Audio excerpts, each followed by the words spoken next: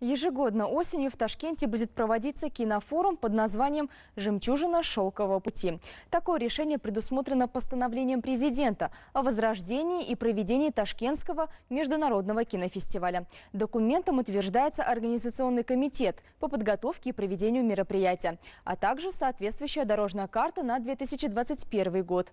Подробнее Шухрат Шакиров.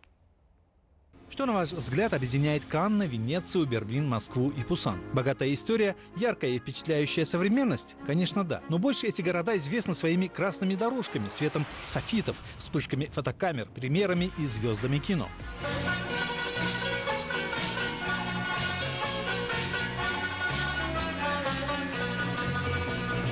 Через горы, через реки, облака и волны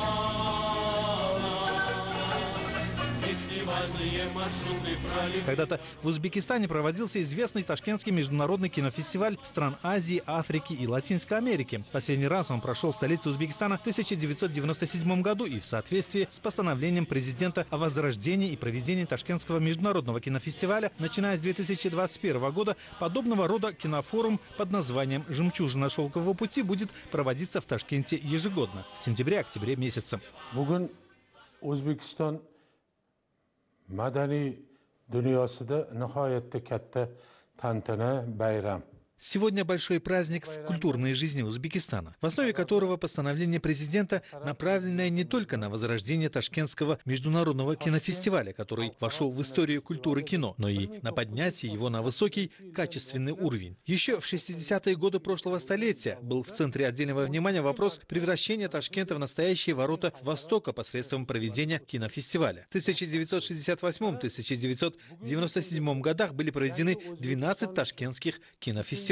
Сегодня это великое культурное мероприятие вновь в центре больших процессов по обновлению Узбекистана, который стоит на пороге третьего ренессанса.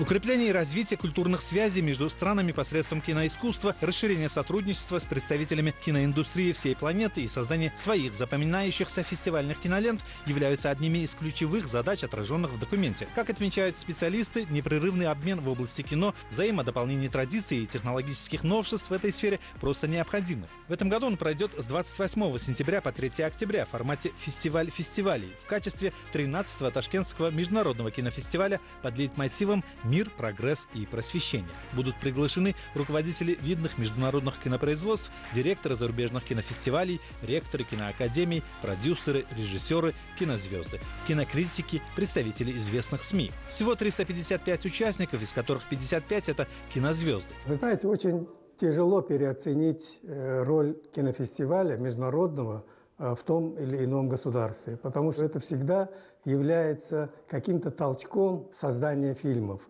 Потому что э, когда приезжают гости, когда привозят лучшие фильмы, тем более тот формат, который сейчас мы будем делать, это фестиваль фестивалей, это очень важно, потому что если мы хотим выйти на какой-то мировой уровень э, в области кинематографа, мы должны знать, что происходит э, в мировом кинематографе. Это очень важно и для зрителей, потому что когда зритель смотрит хорошие фильмы, воспитывается на это, то он и требует от э, местных кинематографистов от такого же уровня. Наиболее созвучные с девизом возрождаемого кинофестиваля, а также внесшие большой вклад в развитие кинематографии, картины и их создатели будут награждены дипломами, символической статуэткой и пятью денежными премиями в общей сумме 100 тысяч долларов. К примеру, наиболее отличившиеся в рамках фестиваля короткометражных фильмов среди стран Азии и Великого Шелкового пути молодые кинематографисты могут получить за первое место 15 тысяч, за второе 10 тысяч и за третье место 7 тысяч долларов.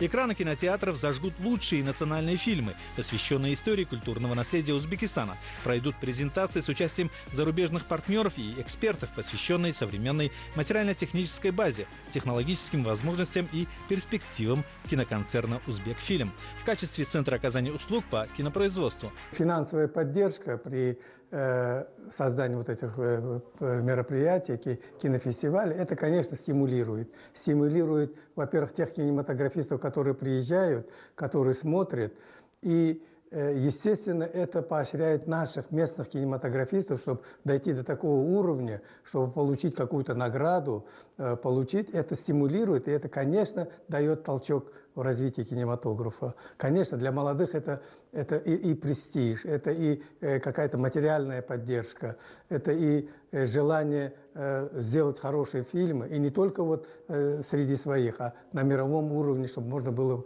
поднимать свои картины до такого уровня. Это будет международный фестиваль, и это будет на высоком и красивом уровне. Все мы ждем. У меня очень много друзей и э, за границей, ну, как мы говорим, в России, в Казахстане, даже в Таджикистане поближе. Мы часто общались и разговаривали. Друзья в Греции, актеры, с которыми знакомы, в Иране, вот э, с Австралией, вот я ездил там, пообщался, познакомился. И вот я хочу сказать, что это будет, э, это будет и нам приятно, а вот для подрастающего поколения, которое вот сейчас вот делает первые шаги в кино, это будет вдвойне и втройне. Это будет мастер-классы, это будет непосредственные отношения, это будет обмен опытом. Но это будет, для нас это сказка, что у нас возвращается такой фестиваль. Все мероприятия, проводимые в рамках и на полях Ташкентского кинофорума, будут демонстрироваться в онлайн-режиме на специальных площадях и кинотеатрах, а также займут место в программах отечественных и зарубежных телеканалов. Постановлением утверждается Организационный комитет по подготовке и проведению кинофестивалей, соответствующая дорожная карта на 2021 год. За счет государственного бюджета будут привлечены видные специалисты в Национальный центр развития кинематографии, чтобы в ходе подготовки и проведения были учтены все нюансы, а также также опыт мировой киноиндустрии. Для спонсоров и инвесторов, которые изъявят желание тесно сотрудничать и оказывать поддержку в ходе кинофестиваля, предусмотрены следующие меры стимулирования. До 1 января 2022 года сумма средств, направленных субъектами предпринимательства на подготовку и проведение кинофестиваля, приравнивается к расходам, вычитаемым при вычислении налога на прибыль. При этом вычитаемые средства не должны превышать 2% от налогооблагаемой базы. С 1 июня этого года по 1 сентября 5%, а с 1 сентября по 3 октября 10% рекламного времени на государственных видеоэкранах и билбордах объектах внешней рекламы отводится под освещение кинофестиваля. Очевидно, что изюминкой подобных мероприятий всегда были звезды. Привлечь их для участия в каком-либо форуме непросто. Потому формируются так называемые инвестиционные пакеты, когда инвесторы смогут привлечь в Узбекистан звезд определенной величины. Подобные начинания, безусловно, станут еще одним импульсом для развития отечественной кинематографии и доведения до мирового уровня кинотеатров страны. Расширится диалог деятелей искусства, что станет практической основой для реализации совместных проектов. В то же время это увеличит число упоминаний об Узбекистане на страницах авторитетных международных таблоидов. Гости, которые придут, посмотрят наши фильмы, они, приехав к себе на родину, будут показывать эти фильмы, рассказывать о них. И это популяризация и нашего кинематографа, и нашей страны. Вот это очень тоже важно для нашей республики, для нашей страны, чтобы э, на устах и других зарубежных кинематографистов и стран был э, слово Узбекистан, Ташкент, фестиваль. В свою очередь, Ташкентский международный кинофестиваль «Жемчужина шелкового пути» внесет свою многогранную лепту в количественный и качественный рост притока туристов в нашу страну.